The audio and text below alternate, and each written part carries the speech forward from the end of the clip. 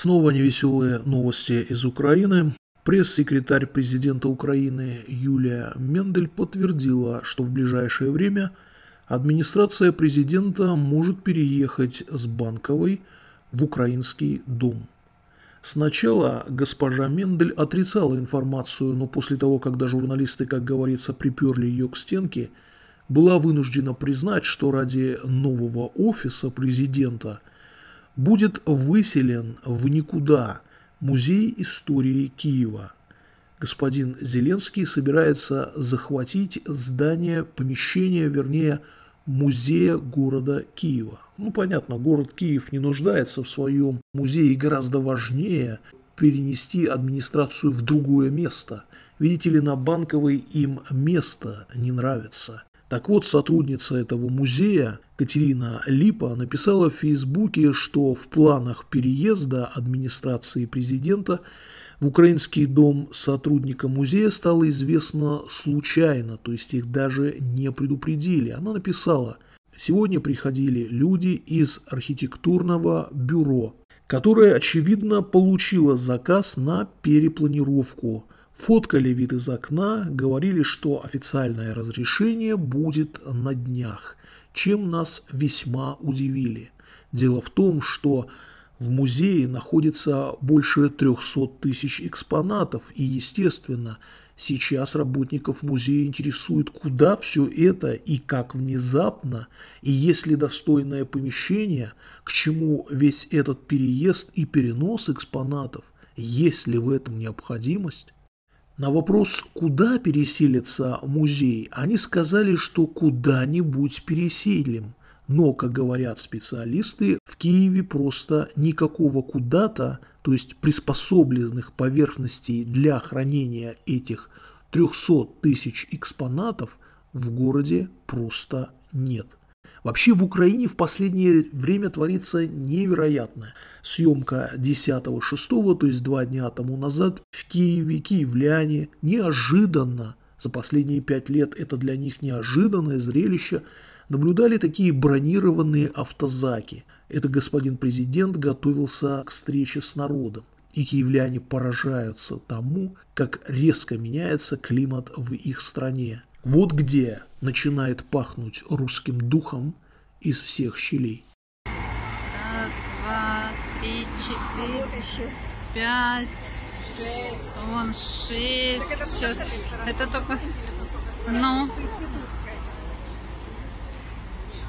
Да. Вон сколько.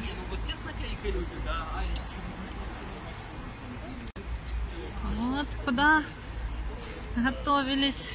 Вот с решеточками готовые стоят нас паковать, если что.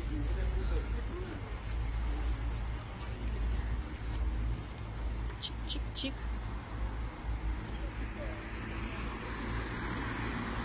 Следующая неприятная новость из Украины. Состоялся форум оппозиционных сил «Доверяя делами». На этом съезде оппозиционного блока прозвучали имена кандидатов в Верховную Раду. Это вот господа Михаил Добкин, следующий Александр Викуль и Вадим Новинский. Все они, как известно, российские коллаборанты.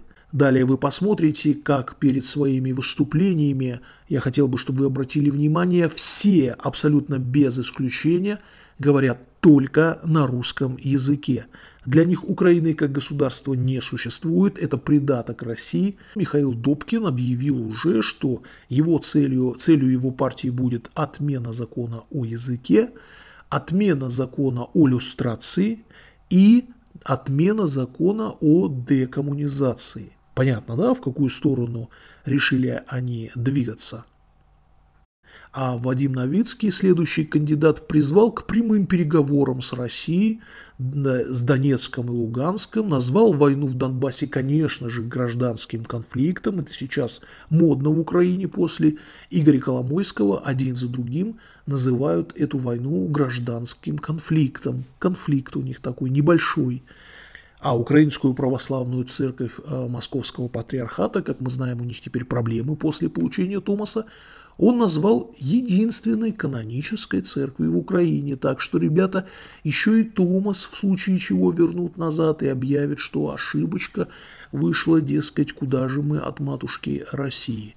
Как говорит в конце правильно украинская версия канала ОМ-ТВ, повылазили люди, которых уже давно в Украине похоронили, а они вот раз и воскресли. Съезд который будет влиять на судьбу нашей страны, проводим в день великого православного праздника – Вознесения Господнего. Мы собрались сегодня на этот съезд, чтобы еще раз сказать Украине о том, что мы объединились ради мира. И вот опять мы идем в борьбу. И вот опять мы идем защищать людей, потому что они нам доверили это право. Мы собрали в кулак волю и веру с главной целью – пойти и победить. Победить партии войны, от режима которых за пять лет пострадал каждый человек в нашей стране.